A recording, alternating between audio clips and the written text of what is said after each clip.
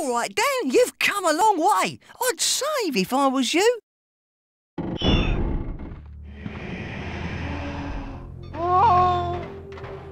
Oh.